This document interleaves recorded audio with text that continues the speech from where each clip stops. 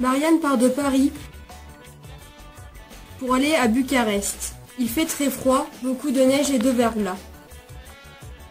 Pour se déplacer à Bucarest, elle a pris le bus pour aller dans différents endroits dans la ville.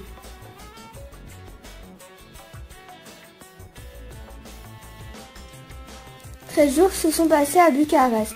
Ensuite, Marianne va à Brastov en train, 2h30, 166 km.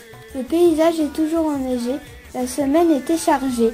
Visite du château de Dracula, journée avec les ours de la réserve de Zarnesty.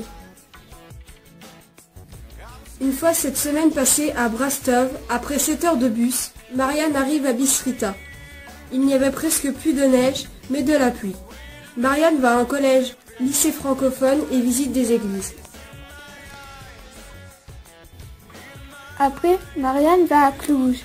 Elle a rencontré des personnes pour savoir leur goût. Mais à Cluj, les bus n'étaient pas confortables. Ce sont des bus urbains. Les jours passés à Cluj, nous voici à Sibiu.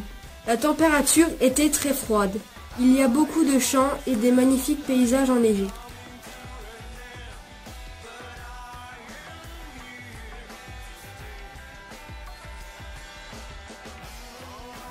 Finalement, Marianne retourne à Bucarest pour prendre l'avion pour retourner en France à Paris après un mois passé en Roumanie.